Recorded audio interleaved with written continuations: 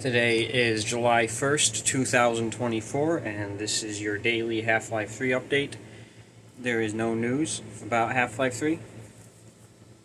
Uh, so I did just see, uh, well, a couple days ago, uh, Quiet Place Part 1 in theaters, and I, I enjoyed it. It was a good movie. Uh, I think that, that this franchise needs to start building to something or going somewhere because it it runs the risk of getting old. Like this gimmick can very easily get old, right? Like I mean, it's kind of been honestly just three movies so far of you know, be quiet or the monsters kill you. Like it needs to to, to build to something to go somewhere.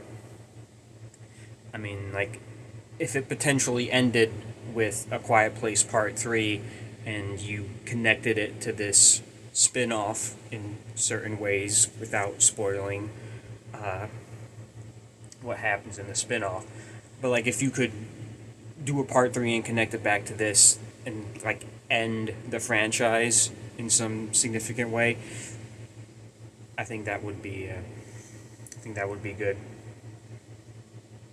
But, uh, yeah. And that has been your daily Half Life 3 update for July 1st, 2024.